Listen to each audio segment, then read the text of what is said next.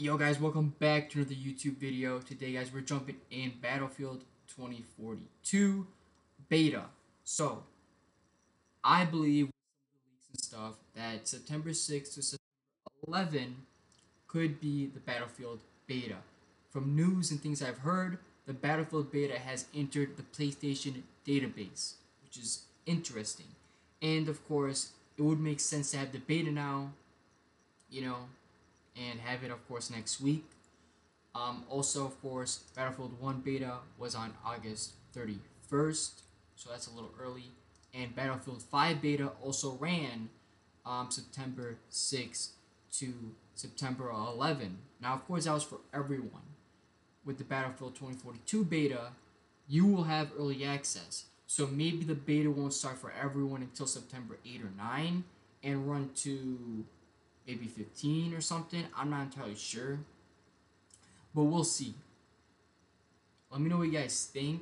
Of course, there will be at least one to two days of early access for the open beta. And um, I'm assuming it'll be one to two days of open beta. And there'll have to be at least two to three days of beta for everyone. The Battlefield 1 beta was only a few days long, I think. Um, and the Battlefield 5 beta was at least five days long. Hopefully, of course, this one runs the same. If anything, of course, let me know what you, you guys think. Um, they really do need to release a beta uh, within, you know, next week, the week after, because the game's coming out October 22nd, I think it is, or 21st. And since most people are buying the bigger edition or you're on EA, you're getting the game October 15.